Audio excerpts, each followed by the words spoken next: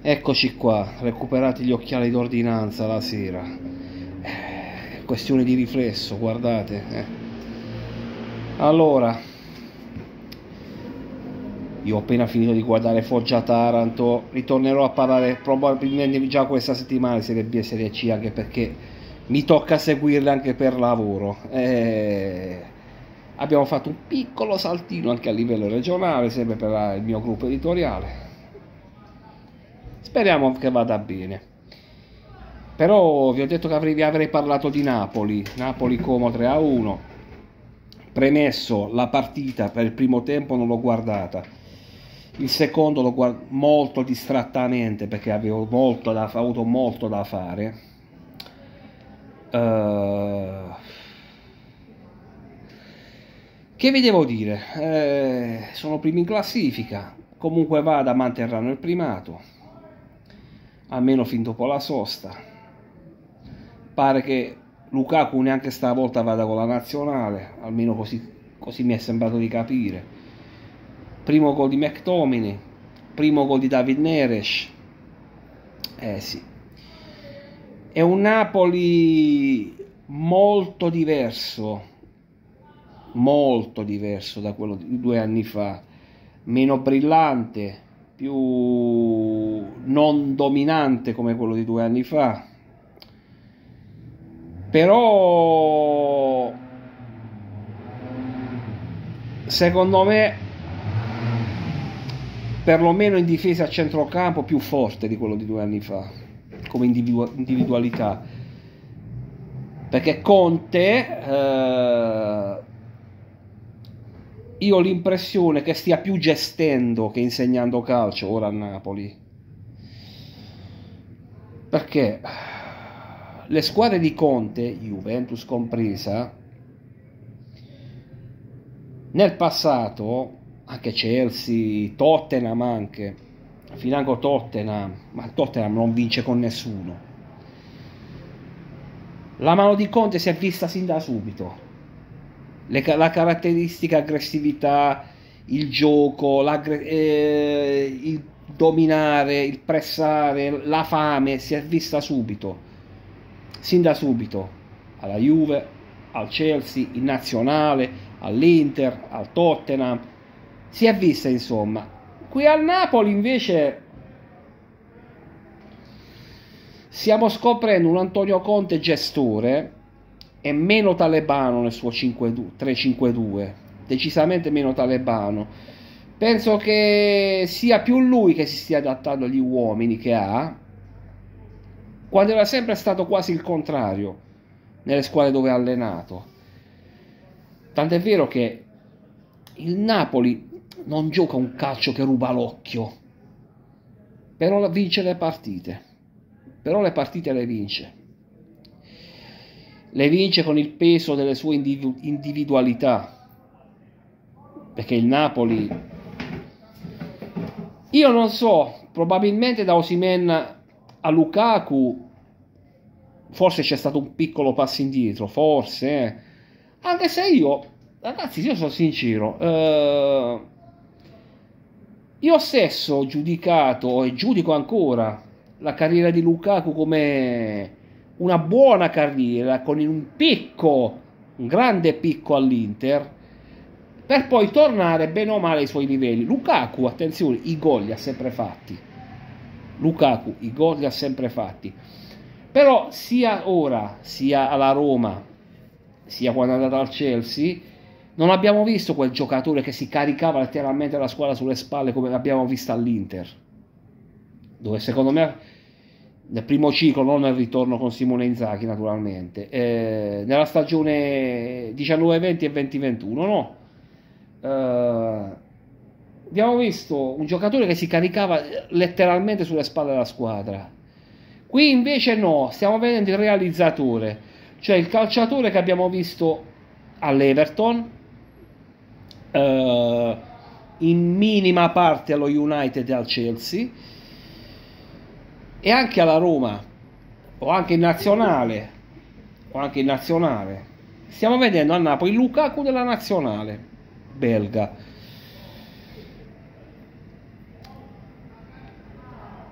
Poi, giustamente eh, c'è anche da dire che Lukaku ha quasi sempre giocato in un attacco a due. Lui a fare da boa e l'altro a girargli intorno. Lautaro, Dybala, occhi per lui. Uh, allo United, Rashford, uh, eccetera, eccetera, insomma. Qui uh, c'è un, un attacco a tre punte abbastanza consolidato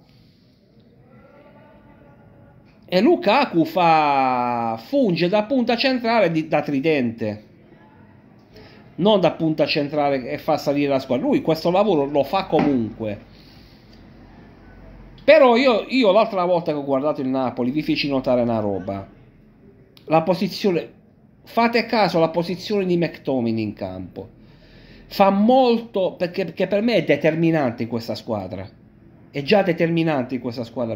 Lo so, sarò anche fissato, ma per, per me McTominay in questa squadra è determinante. È l'acquisto top che ha fatto il Napoli, perché lui funge, fa esattamente quello che faceva a Manchester, il pendolo dal centrocampo e l'attacco. Un ruolo che a Manchester era consolidato fa un po' lui invece faceva quello che facevano Skolskin, quelli là, naturalmente con qualità non a quei livelli, però neanche troppo lontana. Eh. Uh, in fase offensiva, se voi notate il Napoli è un 4-2-4. Quindi Conte parzialmente rinuncia alle proprie idee. Lui forse ha capito una cosa, che non può adattare giocatori come Kvaraschelia e Politano al suo credo calcistico, al credo calcistico perlomeno che ha avuto fino a pochissimo tempo fa. Del resto, all'Inter, quando Conte andò all'Inter, fu lui stesso a mandar via Politano. Nella stagione 19-20, se non sbaglio, fu lui stesso a far mandare in prestito Politano a gennaio al Napoli fu lui stesso. Adesso parte titolare perché a differenza di quando andò all'Inter Conte, stavolta è lui ad adattarsi ai calciatori. Perché da uomo intelligente quale sa benissimo qual è la matrice di questa squadra. Quel 4-3-3 che con Spalletti ha fatto quello che ha fatto. No. Lui, lui adesso eh, con l'acquisto di McTominay ha preso due piccioni con una fava.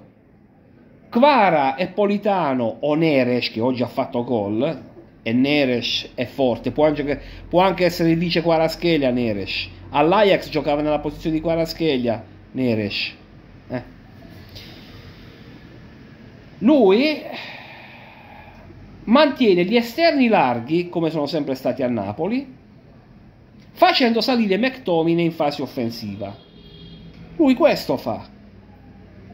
Se, quando il Napoli attacca, McTominay è molto vicino a Lukaku. Fa da pendolo. E in pratica un sulla carta è un 4-2-3-1, ma a conti fatti è un 4-2-4 mascherato. È un 4-2-3-1 in fase di non possesso, è un 4-2-4 in fase di possesso. Questo fa Conte con Napoli, affidandosi molto alle sue scendendo a molti compromessi secondo me. Uh, in questo momento i risultati stanno dando ragione. Sono sincero, è un Napoli, o me, la squadra di Conte che stavolta fa meno paura a guardarla di quando ne facesse l'Inter di Conte, però i risultati li ottieni. E poi giustamente, come mi si faceva notare, c'è un altro acquisto che in pochi sottolineano, me per primo, che è Buongiorno. Ragazzi, questo ragazzo ha sistemato, gli ha sistemato la difesa al Napoli. Eh. Che lo scorso anno si è spesso parlato erroneamente dei problemi difensivi del Napoli come figli della partenza di Kim. No, perché era tutta la squadra ad essere regredita, non era solo questione di Kim. Difatti, Kim al Bayern non è che si stia ricoprendo di gloria.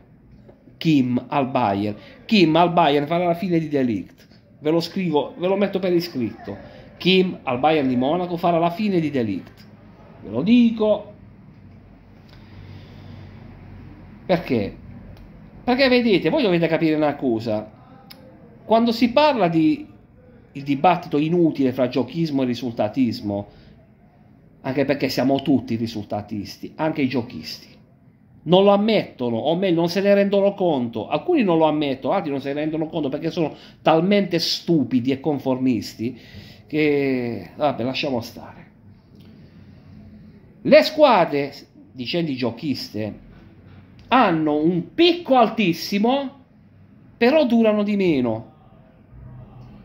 Durano di meno. Il Milan di Sacchi è durato meno del Milan di Capello. E in Italia ha vinto molto meno del Milan di Capello. E anche di quello di Ancellotti. Il Milan di Sacchi ci fu quel diciamo biennio fra l'88 e, e il 90 è l'inizio del 90 dove veramente era una squadra ingiocabile. Ingiocabile. Poi però cominciò a calare. Tant'è vero che il terzo anno i giocatori non ne potevano più di sacchi si era perso lo scudetto si era perso la Coppa Italia io ricordo quando il Milan vinse la seconda Coppa dei Campioni di fila contro il Benfica sì, fu festeggiata, tutto quello, però dall'ambiente eh, vicino al Milan, per ambiente parlo di stampa, di opinionisti, eccetera, eccetera, quella Coppa dei Campioni fu quasi vista come una parziale consolazione dello scudetto perso. Con il Napoli, la monetina di Alemao, eccetera, eccetera, Bologna, Vero, la, la sconfitta di Verona, eccetera, eccetera. Eh, ma eh, cosa voglio dire? Che quel Milan era già in calo. Il Milan della, dello, de, del eh, aprile-maggio 89 per me è stata la squadra di club con l'Ajax di Cruyff più forte che sia mai esistita. Il Milan dell'aprile-maggio 89 è stata la squadra di club forse più forte che sia mai esistita. Il picco, poi comincia a scendere. Mentre così con giocatori eh, di affidamento.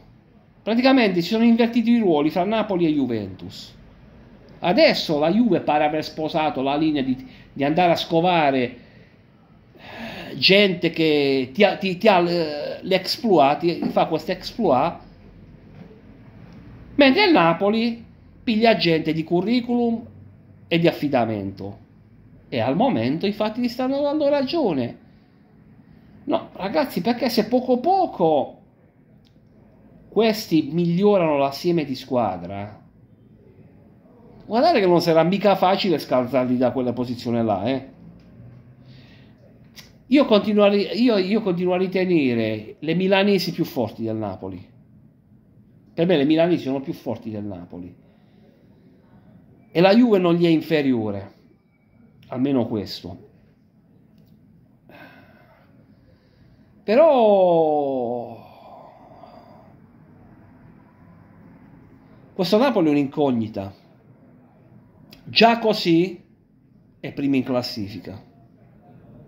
E attenzione, mi si dice, eh ma il Como. Sì, sì, sì, guardatelo come gioca il Como. Ce lo voglio vedere quando trova le altre grandi il Milan nel Como. Guardate che quelli che abbiamo fatti prima noi e poi loro contro il Como sono tre punti d'oro, eh perché il 3 a 1 è un risultato bugiardo, bugiardo, da quel che mi è parso di capire. Certo, non è che il Napoli meritasse la sconfitta, allora assolutamente. Però il divario fra le due squadre che si è visto è molto meno netto di quel che sembra. Perché il Como gioca bene a calcio e che fa delle puttanate in difesa, sì, costruzione dal basso, gioco di possesso, spettacolo, tiki-taka, ma un conto il tiki-taka e la partenza da dietro e farla con Puyol, Piquet, Dani Alves e, e Jordi Alba. Un conto è farla con la difesa del Como, dai, non facciamo ridere. Eh. Invece Fabregas ha imposto questo suo credo e così, però ha fatto stare, eh, la partita è stata molto più equilibrata di quel che dica il punteggio, però il Napoli signori, eh, eh, il Napoli è lì, e non solo la squadra ma anche i ricambi il Napoli.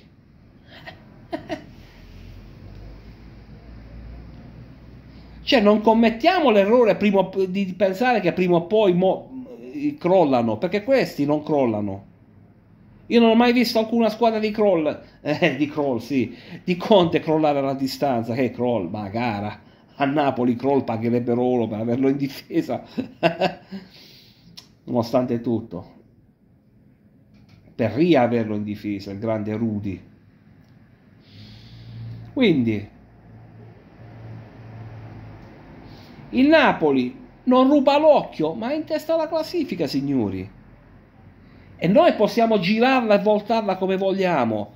Contano le partite vinte. E anzi, vi dirò di più.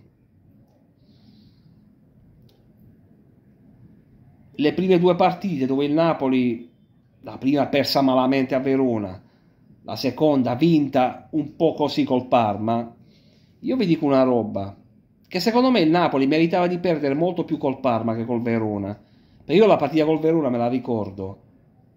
Se nel primo tempo di Verona-Napoli il Napoli avesse fatto 4 gol, non c'era nulla da dire. Non c'era nulla da dire. Nel secondo tempo poi piglia l'imbarcata difensiva al primo contropiede. Ma il Napoli fino al primo gol del Verona aveva dominato letteralmente la partita. Col Parma, col Parma, se non fa quella stronzata, il, quel portiere che non so manco da dove cazzo lo sono andati a prendere, e il Napoli la perde quella partita e l'avrebbe anche meritata di perdere col Parma il Napoli. Quindi eh, la Caporetto di Verona va un po' vista con beneficio di inventario, ok? Quindi chi pensava da un Napoli sulla falsa riga di quello dell'anno scorso non ha capito niente, o chi pensa ancora a un Napoli sulla falsa riga di quello dell'anno scorso non ha capito niente. Non ha capito niente. C'è solo da augurarsi che il Napoli sia questo fino alla fine della stagione, eh?